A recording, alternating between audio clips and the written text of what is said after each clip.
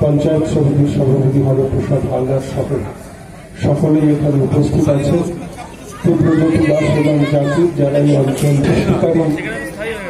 কিছু চক্রান্ত রয়েছে, সেগুলো খেলাধুলোর মধ্যে দিয়ে প্রতিহত হবে। এই প্রত্যাশা রেখে এই আটদলীয় নকআউট টুর্নামেন্টের যারা খেলছেন, তাদের সকলকে ধন্যবাদ। যারা বিজয়ী হবেন, আগাম তাদের অভিনন্দন। যারা রানার্স হবেন তারাও যাতে আগামী দিনে বিজয়ী হতে পারেন, তার জন্য তাদের জন্য রয়েছে আমার অভিনয় ইন্দিরা গান্ধী স্মৃতি রক্ষা সমিতির সম্পাদক দিব্যজ্যোতি দাস মহাশয়, তাকেও মাঠে যাওয়ার জন্য রিকোয়েস্ট করছি খেলোয়াড়দের সাথে পরিচিত হচ্ছে প্রথমেই সংস্কৃতি সংঘ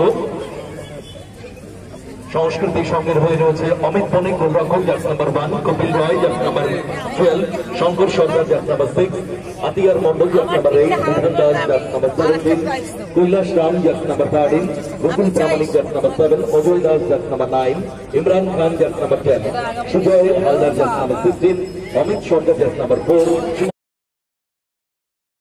করব, সবাইকে উঠে দাঁড়ানোর জন্য। এটা আমাদের নৃশংসভাবে তারা যেভাবে আমাদের বীর সেনাদেরকে আঘাত বসুন্ধরা আমরা।